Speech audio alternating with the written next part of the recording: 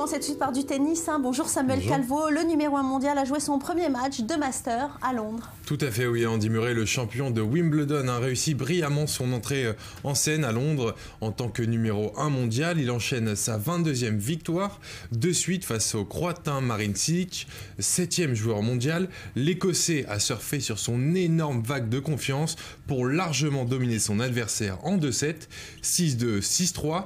Demain, il devra confirmer hein, sa qualification pour les demi-finales en affrontant son bourreau en demi-finale de l'US Open, Kei Nishikori.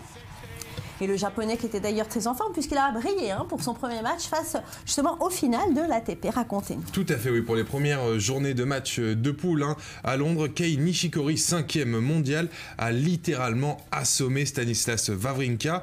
Pourtant couronné roi hein, de, New York, le Suisse est visiblement à bout de force en cette fin de saison 2016. En témoigne également sa sortie dès le premier tour à Paris-Bercy la semaine dernière. Le japonais aura eu besoin euh, d'à peine plus d'une heure de jeu et deux petits sets 6-2, 6-3 pour en venir à bout, pour venir à bout donc de son adversaire. On va parler football. Ça joue ce soir pour les Bleus. Ils vont affronter les Français, la Côte d'Ivoire. Oui, l'équipe entraînée par euh, Didier Deschamps a la ferme intention de continuer sur sa lancée ce soir à Lens. Une équipe de France complètement réconciliée avec son public hein, va jouer cette rencontre avec sérieux pour conserver cette euphorie le plus longtemps possible. La France qui est euh, redevenue une nation hein, euh, qui compte sur la planète football en étant septième au classement FIFA grâce à une belle réussite à l'Euro 2016 a idéalement démarré sa campagne euh, du mondial de la Russie. Les Bleus sont à la première place du groupe A avec trois victoires pour seulement un nul. Je propose d'écouter Didier Deschamps. Évidemment, euh, c'est une, belle année. On avait une opportunité incroyable qu'elle soit très très belle parce qu'on pouvait être champion d'Europe, mais que ça soit avant, ça n'a pas été simple avant l'Euro, on a eu quand même quelques complications peut-être vous avez oublié, moi je n'ai pas oublié. Euh, voilà, euh, mais ce vécu, plus ceux qui étaient là euh, à la Coupe du Monde 2014, aujourd'hui, oui, l'équipe de France a, grandi, elle maîtrise mieux, elle a plus d'expérience. Après, on n'est pas à l'abri et je reste vigilant avec mon staff, pas envie d'avoir une, une chute de tension, comme on dit. Parfait, merci. Merci, à demain.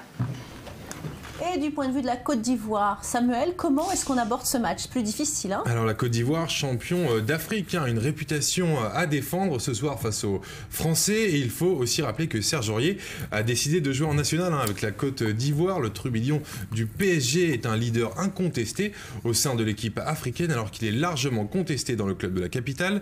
Euh, même si ce soir il n'y a aucun point à ramener, l'enjeu reste donc assez important. On écoute l'entraîneur, qui est français d'ailleurs. Ah, il y a un double challenge qui n'est pas facile. Hein. D'une part, il y a une, exigence de résultats, puisque la Côte d'Ivoire est championne d'Afrique. Alors on attend d'elle des résultats et des performances. Euh, donc, et avec euh, un effectif qui est rajeuni, donc qui forcément aussi manque un peu d'expérience de, à ce niveau-là, au niveau international. Allez, un match à raté sous aucun prétexte. Ce soir, un peu de sport de glisse. Maintenant, avec de la planche à voile, Samuel. Oui, direction euh, les plages de Ukipa à Hawaï hein, pour euh, la dernière étape du circuit mondial de planche à voile Waves. Et euh, c'est l'américain qu'on voit sur ces images, Pritchard, qui remporte cette épreuve avec brio. L'expert a prouvé une fois de plus aux nouvelles générations qu'il fallait encore compter sur lui. Magnifique saut qu'on vient juste de voir. Euh, en ce qui concerne la couronne mondiale, c'est Victor Fernandez qu'on voit sur ces images qui, euh, là, qui récupère donc cette couronne après 6 euh, ans. Très belle hein. vague. La dernière fois, donc c'était en 2010. Et du côté des femmes, parce qu'il y a les femmes aussi, maintenant, Sarakita Ofringa s'est offerte une incroyable remontée. La championne du monde, hein, déjà de slalom et freestyle 2016, rajoute un trophée de plus dans son palmarès, déjà très bien garni. merci Samuel. Alors, nous allons notre grand angle à nos amis les chiens. Alors surtout revenez, je reviens moi dans une poignée de minutes. Le plus fidèle compagnon de l'homme, il est capable d'identifier des maladies, figurez-vous, et en plus de traquer des brigands et trouver des stupéfiants. Restez là, je reviens tout de suite.